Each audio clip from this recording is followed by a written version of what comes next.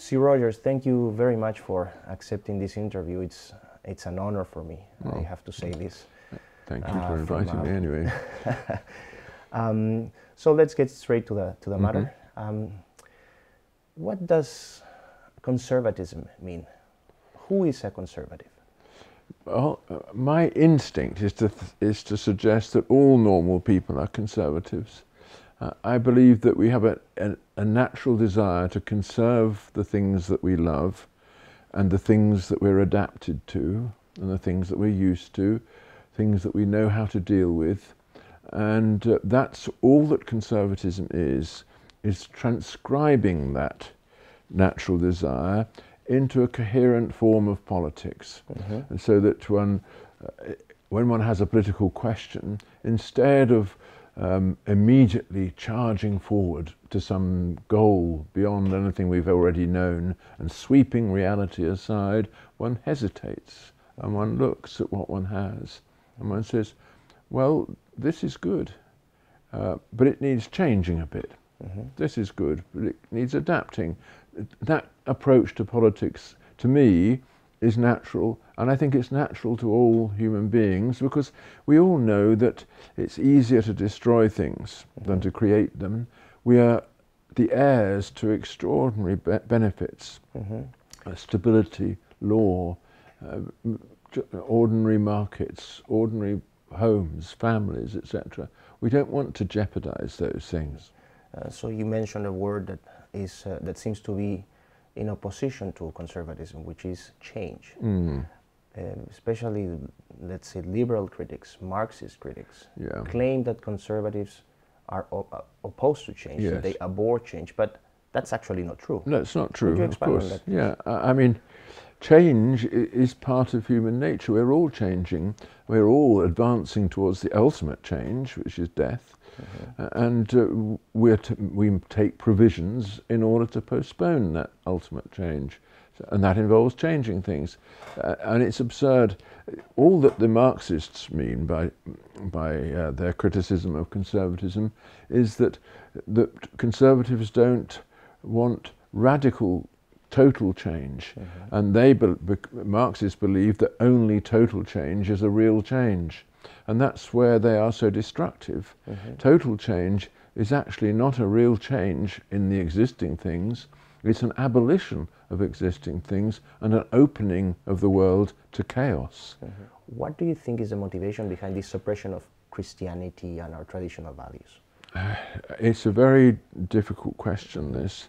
Uh, um, I, believe that, that uh, when, at a certain point, when people become a little tired of inheriting things, they suddenly turn round against those things uh, and adopt what I call a culture of repudiation. Say that that's not me. Get take it away. Uh, um, I want to be free of that burden, mm-hmm. uh, and that's a natural instinct in adolescence. But when adolescents grow up, they realize that they have to adopt that burden if they're to have children of their own mm-hmm. and if they're to honor their parents and so on. So it tends to go away. But in the world in which we live, it doesn't go away so easily because people are too comfortable. They can live with this repudiation. Mm-hmm. They don't have, they don't need others as much as they used to, at least not for the time being. So uh, they live in a kind of illusion, a dream of security, which enables them to experiment with throwing everything away. Mm. Um, but of course, they are opening themselves to disaster. And once those those things are lost, is it possible to recover them, or you think it's just a, a one way? Well, uh, things do get lost and they do get recovered, mm-hmm. uh, but they get recovered in a different form. Mm-hmm. You know, France in the 1789 lost everything. It lost its entire social order, it lost its law, lost um, all, all the traditional occupations of people, it lost its religion, everything. Uh, and everything was scattered and there was chaos. Two million people lost their lives. Mm-hmm. But you know, eventually Napoleon stepped in. Okay, it was a violent way of stepping in, and it wasn't the ideal, but by degrees it was restored, uh, and 19th century France had law again. It, it, had a social structure, it had occupations, it had its religion. Mm-hmm. So, uh, you know, let's not despair. Is it possible to be conservative from a secular perspective? What, what do you think are the difference mm. between secular conservatism and religious conservatism? Well, in, in, in Catholic countries, mm-hmm. conservatism has, on the whole, been identified with religion, mm-hmm. in particular with, obviously, with the Catholic Church, but also with a, often with quite s- strict and backward-looking forms of religion, mm-hmm. as with the ultramontanists in France. Yeah. Mm-hmm. Uh, but um, whereas in Britain, conservatism, which emerged in the 17th, 18th centuries, has always been part of the um, of, of the native uh, skepticism. Mm-hmm. You know, of course, we've been a Christian country, but our kind of Christianity is much more skeptical mm-hmm.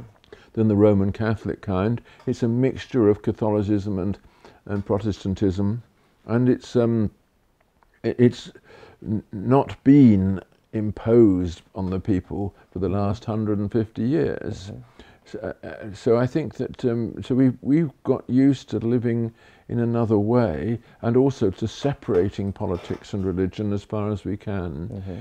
Partly because in the 17th century there was so much destruction uh, yes, through religious conflict. Mm-hmm. mm-hmm. Um, so and and, and I, I believe that actually our model of conservatism is the right one. It's one which separates uh, political conservatism from religious conservatism mm-hmm, mm-hmm. and opens itself to people who are skeptical about religion but simply share the national culture. Mm-hmm. And actually, what is interesting is that, that it, it's the English um, um, language countries mm-hmm. that have been the most uh, likely to declare themselves conservative.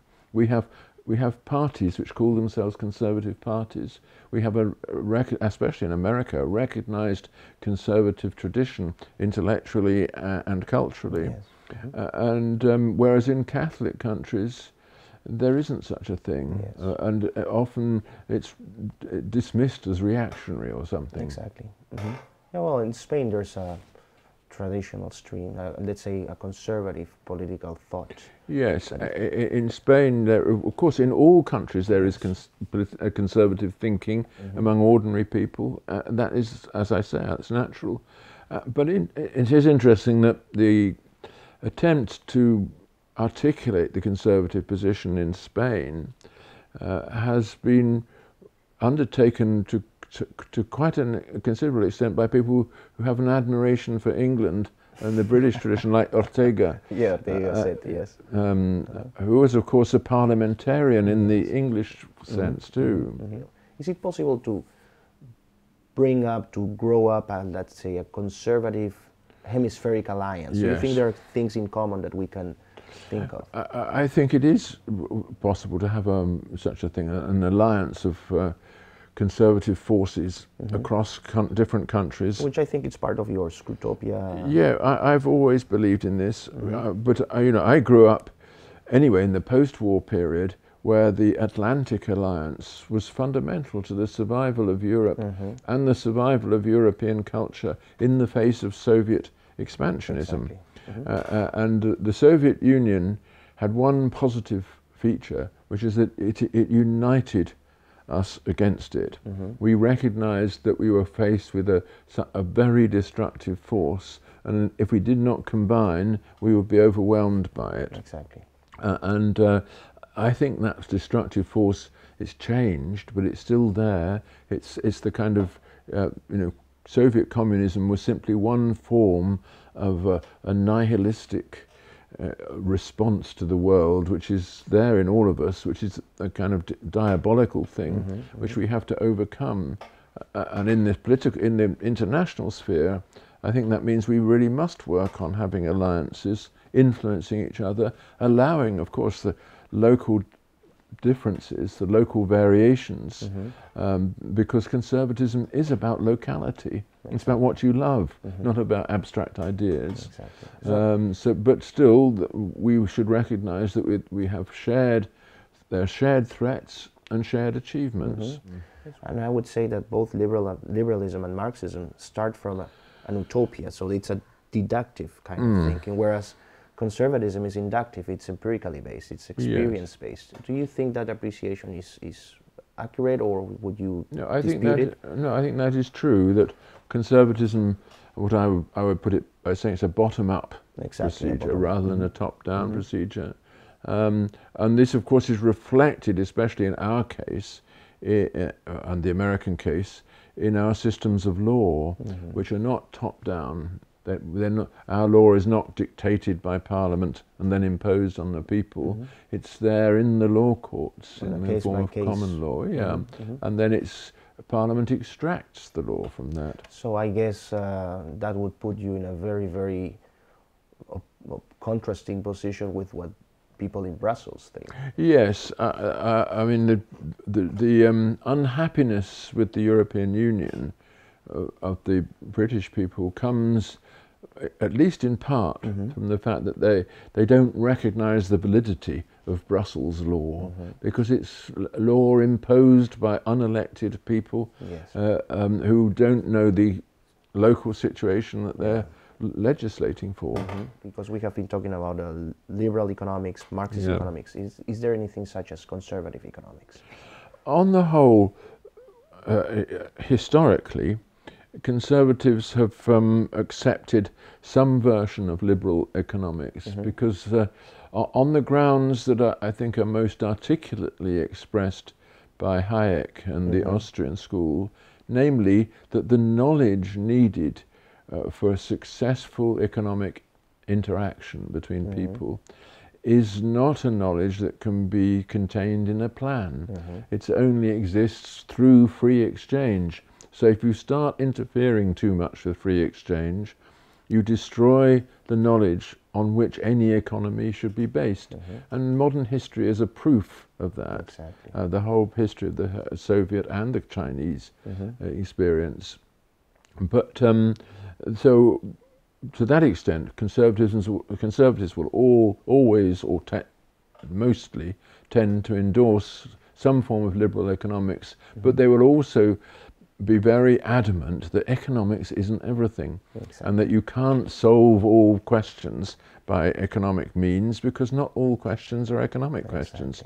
And the most important ones are not economic ones. Like the most important ones like for example? Uh, uh, what institutions do we need in order to pass on to the next generation Families, what we've inherited? Yeah the family. Mm-hmm. the family is not an, an answer to an economic question. Mm-hmm. it's the answer to a much deeper question the question of the perpetuation of mankind. Mm-hmm. So, Sir Roger, thank you very much. Uh, just a final comment to mm. our Latin American friends, and of course, friends from all over the world that will watch this interview, but especially to Latin America. Any kind of uh, comment, message, just say hello or yes. something. Oh, well, hello to Latin America, but I'm glad that Latin America exists because. Uh, you know, it's a fantastic. Uh, I don't. I've never visited it, mm-hmm. but uh, it's You're just most welcome. By the way. Yes, it's a fantastic thought that that great continent, with all its wonderful natural resources, uh, is speaking European languages uh, and producing fantastic literature mm-hmm. uh, uh and music, and uh, you know, and a, a, culture that we all recognise, and has a, an air of cheerfulness about it, yes. despite all its difficulties. Well, thank you very much, Sir Roger. My pleasure. And mine too. Thank you.